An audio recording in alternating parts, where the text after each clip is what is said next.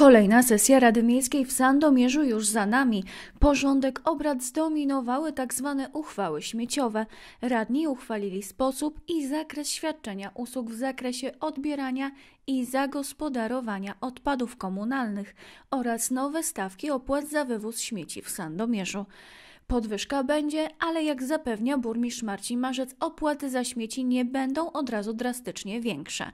Podwyżka opłat za śmieci będzie stopniowa. Po burzliwej dyskusji podjęto ostateczne decyzje w sprawie opłat śmieciowych.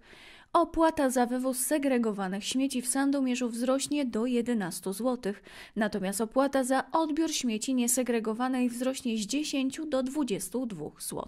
Nowe stawki zaczną obowiązywać mieszkańców 1 maja. Od 1 stycznia 2020 roku natomiast rozpocznie się kolejny etap podwyżek. Tym razem opłaty wzrosną do 13 i 26 zł od osoby. Burmistrz Marcin Marzec, który był wnioskodawcą projektu uchwały, uzasadnia, że wzrost opłat jest konieczny. Jak wyjaśniał na sesji, fakt podwyżek jest spowodowany tym, że zajmujące się wywozem odpadów przedsiębiorstwo gospodarki komunalnej i mieszkaniowej ponosi straty z tego powodu. Ostatecznie uchwałę przyjęto przy dwóch głosach przeciw i jednym wstrzymującym. Za podjęciem uchwały było 13 radnych. W trakcie ostatniego spotkania radni podjęli również szereg innych uchwał.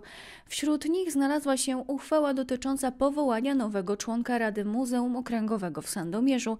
Radni przyjęli sprawozdanie z działalności Środowiskowego Domu Samopomocy, jak również sprawozdanie z realizacji gminnego programu profilaktyki i rozwiązywania problemów alkoholowych oraz przeciwdziałania narkomanii w Sandomierzu dotyczące ubiegłego roku.